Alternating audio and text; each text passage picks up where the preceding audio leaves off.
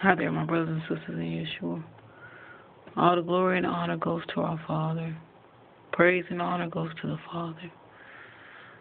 Giving our glory and honor to Yeshua, our coming King, our Messiah, the Holy One of Israel. Thanking the Holy Spirit always for revealing truth, especially in these last days. My brothers and sisters in Yeshua, this is going to be an important video. You take heed, you accept, or you don't accept. I'm only commanded to put out the truth, and that is it.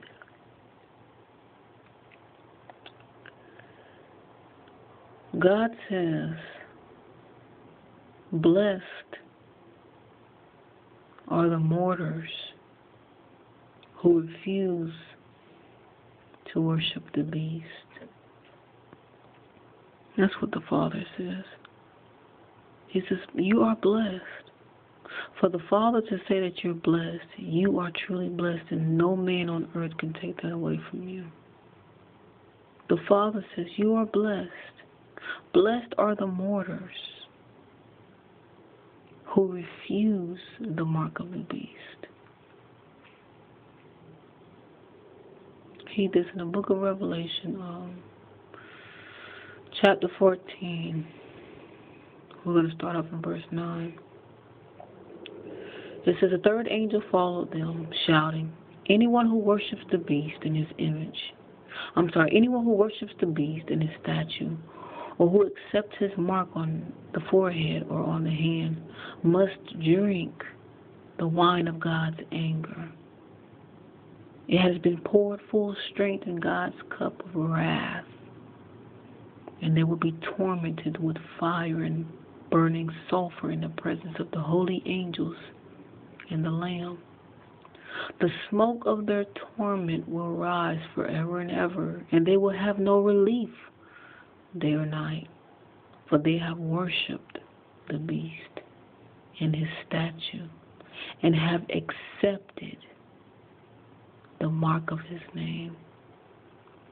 And then it continues. This is what you must listen to, my brothers and sisters in Yeshua. In verse 12, it says, This means that God's holy people must endure persecution patiently, obeying his commands and maintaining their faith in Yeshua.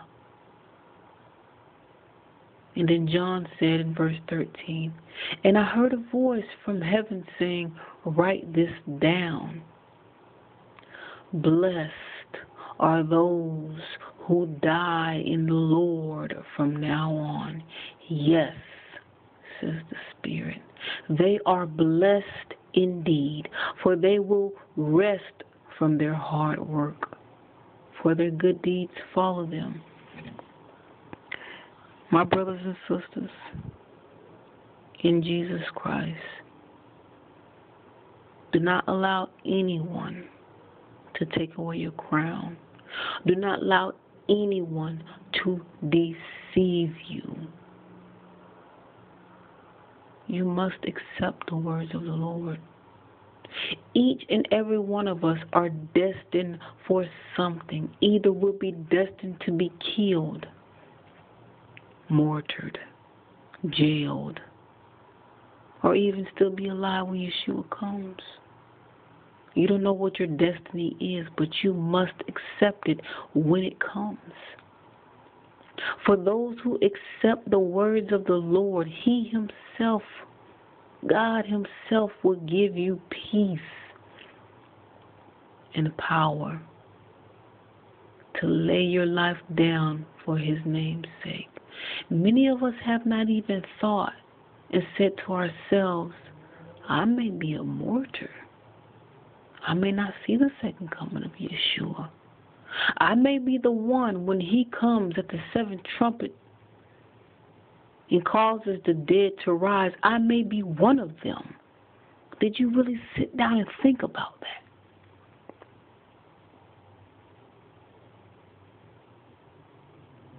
Don't be afraid if you face martyrdom. I say this to myself. I preach this to myself.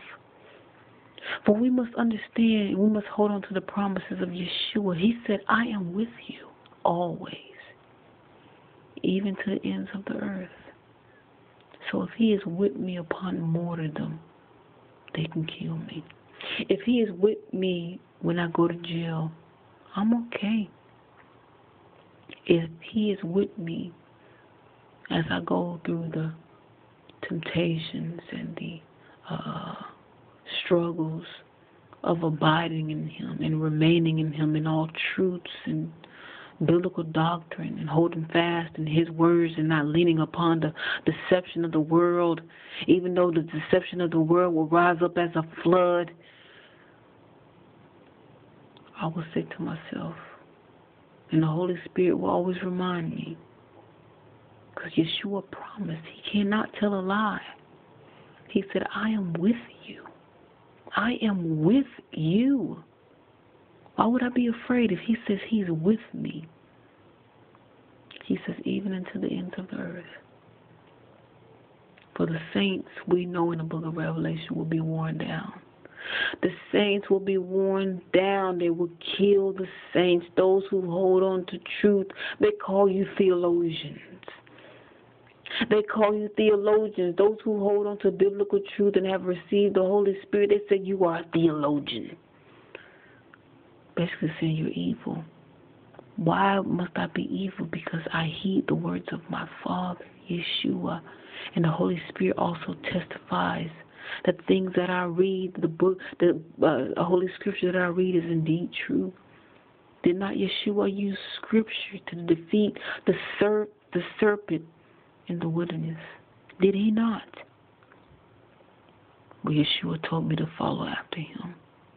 We must follow after him. Scriptures is, is indeed true, for it is Yeshua who says, or it is Yeshua who had defeated the serpent with the Holy Spirit and also with biblical truth, biblical sound doctrine. God will give you peace. God will give you power if you accept your destiny, no matter what it is. It is said in the book of Revelation, they did not love their lives to death, but they laid it down for Yeshua's name's sake.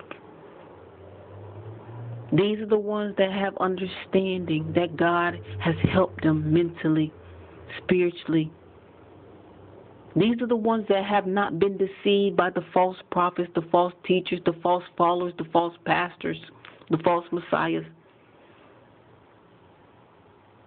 It is the Father, it is the Son, it is the Holy Spirit which gives us strength to lay our lives down no matter what the occasion is.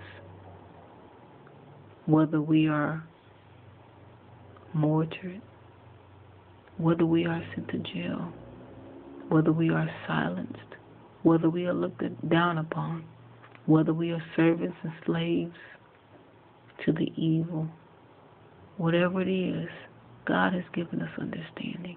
He has given us strength to push forward and not to give up, to push forward and not to give up. As Yeshua says, I'm with you. I'm going through it with you. Yeshua says he has overcome the world. He said, Fear not, I have overcome the world. So for us to fear not that he has overcome the world, he said, I will get you through what I went through. Follow me. Keep your mind on me. We can do this. We will do this together. These people, they understood.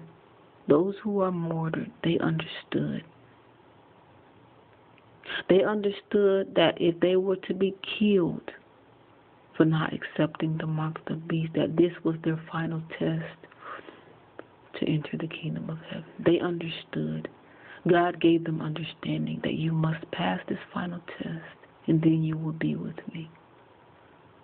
For anyone could profess themselves as Christian but at that moment, their faith was tested to see if they was real and to see if they would pass.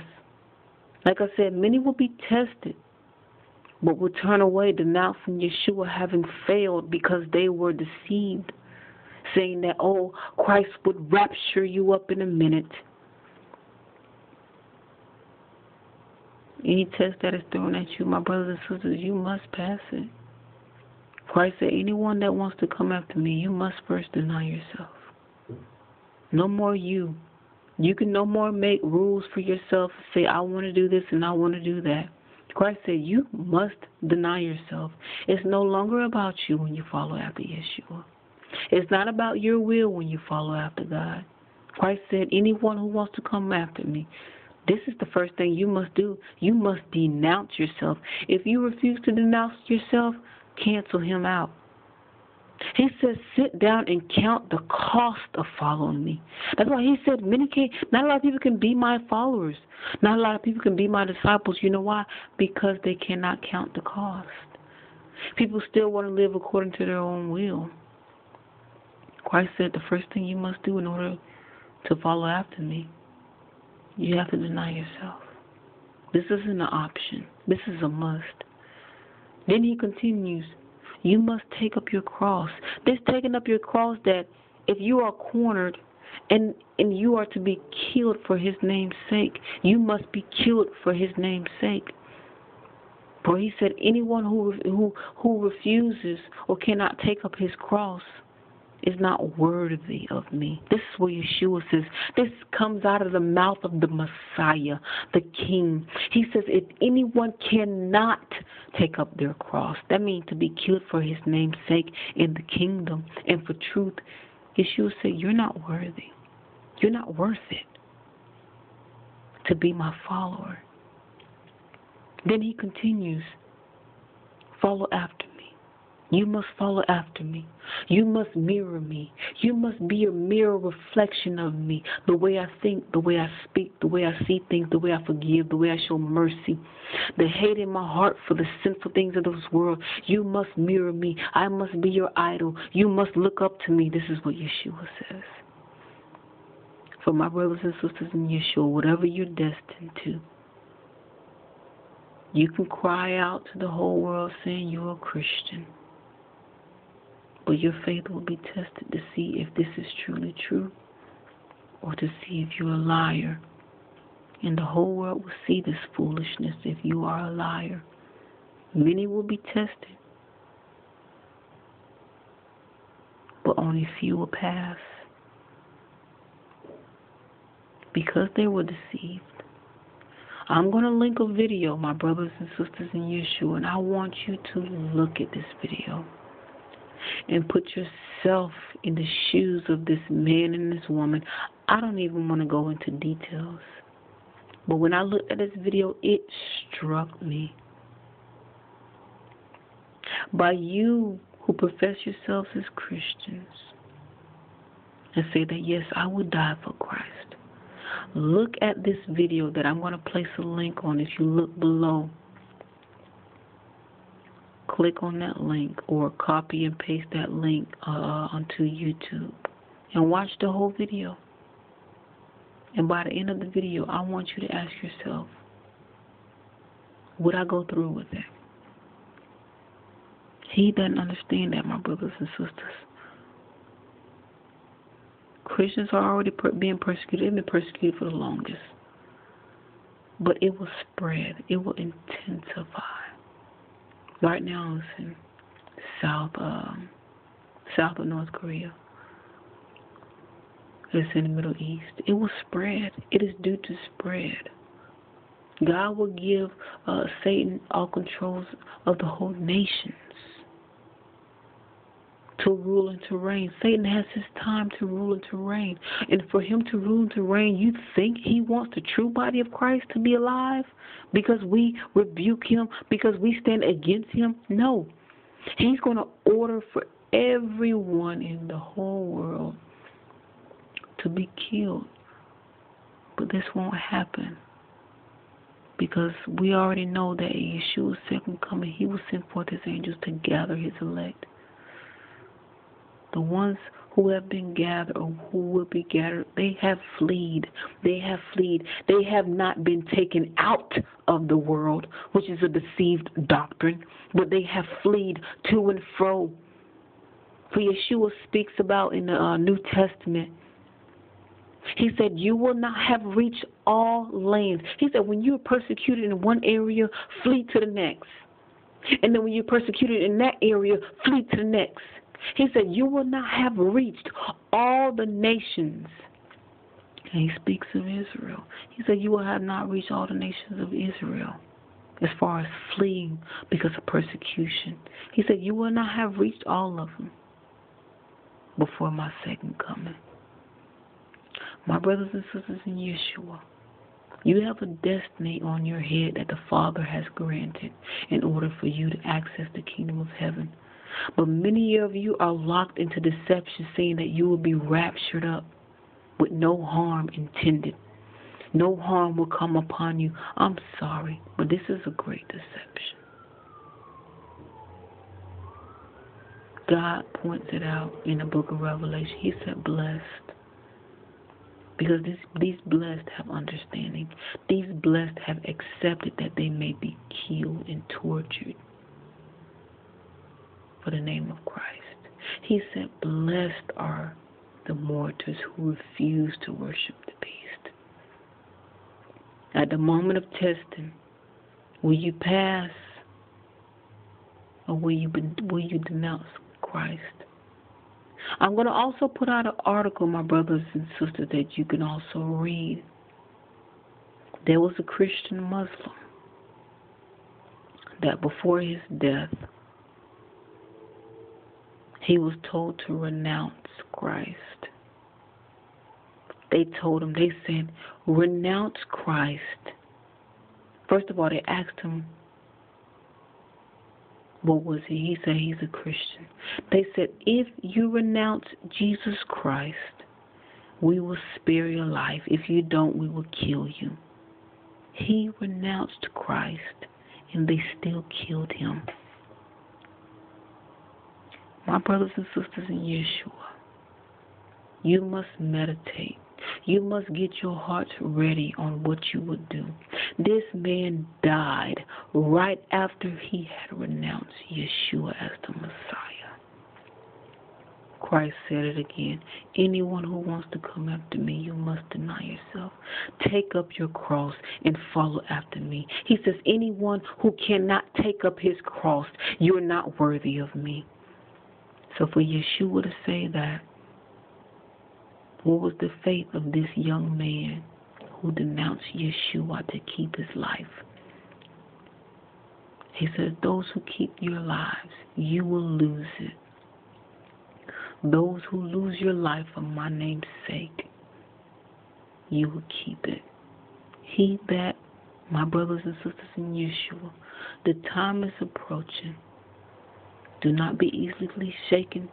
Do not be deceived, but hold on to sound doctrine in a strong and true relationship with the Father, the Son, and receive the Holy Spirit, repenting of all of your sins. Take care.